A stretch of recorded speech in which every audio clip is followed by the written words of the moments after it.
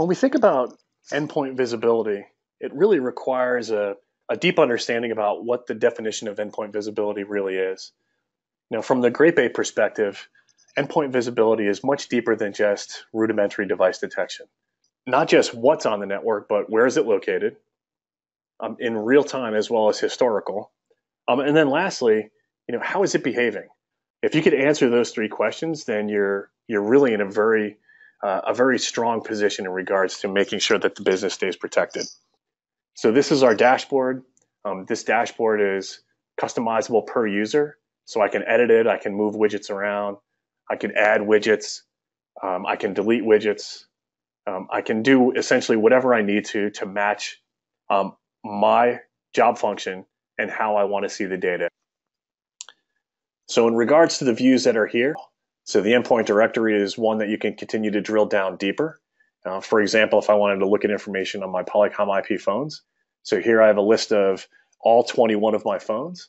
I have MAC address, MAC vendor, I have IP data. Um, very importantly, I have location data. I know exactly what device that that phone is plugged into, um, down to the port level, and I know when it was last profiled. In addition to the dashboard views, there are a lot of other ways of looking at the information as well. For example, perhaps I want to understand and see the endpoints that are attached um, by network topology. So here I can click on endpoints, drill down into the network topology, and let's say that I want to find that test switch. I can look for, here it is, the test 03, and I can drill down deeper and I can see that here's my switch. I've got a couple of IP phones connected. It's connected to two other network devices. It, there's an access point hanging off of it, and then oh, here's a here's a clinical laptop. If I mouse over that laptop, I have even more information. So if I jump back to our dashboard and I look at other views, if I look at endpoints by endpoint view by profile top 10.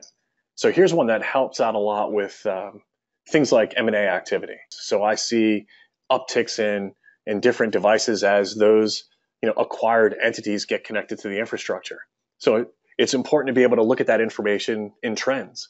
Um, monthly might be a good way of understanding in 30 day chunks, you know, what kind of devices am I seeing? So that now you can look and see that, all right, there's an uptick in the number of Windows devices, but I ha- also have a number of different medical devices. Um, it helps you understand in real time what how those quantities are changing, and it allows you to compare, you know, with other inventories, so that now you can look to understand if there are either deficiencies in device types or perhaps even, um, you know, areas where, you know, you have a um, a surplus of a specific device type. The last thing to really pay attention to, um, things that we've seen over time may start to behave in ways that are different. So we give you the ability of looking at things you know, at the event view. So we have events that can identify when new devices come online.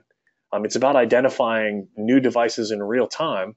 So it very much takes a lot of the onboarding process from a very manual um, labor intensive process in many cases um, to a more dynamic, um, much less overhead process. Um, these are all things that the network intelligence platform can help with.